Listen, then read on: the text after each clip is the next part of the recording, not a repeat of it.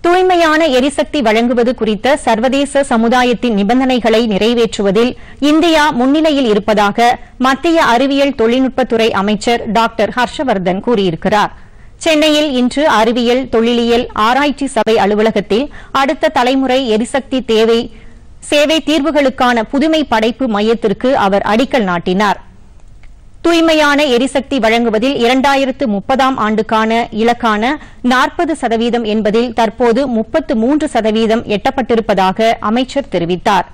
அறிவியல் தொழிலியல் ஆராய்ச்சி சபை விஞ்ஞானிகள் மிக குறைந்த செலவிலான சோடியம் அயான் பேட்டரி குறித்த பணியில் ஈடுபட்டிருப்பதாக குறிப்பிட்ட அவர் இதனை அடுத்து அடுத்த இரண்டு ஆண்டுகளில் பேட்டரி இறக்குமதிகள் முற்றிலுமாக தவிர்க்கப்படும் என்று கூறினார். இரண்டாயிரத்து முப்பதாம் ஆண்டில் முற்றிலும் மின்சார வாகன போக்குவரத்து என்ற நோக்கத்துடன் இந்திய அரசு செயல்பட்டு வருவதாக அமைச்சர் தெரிவித்தார். நிகழ்ச்சியின் போது அமைச்சர் ஹர்ஷவர்தன் எரிபொருள் செல் சோதனை அமைப்பு ஒன்றை திறந்து வைத்தார்.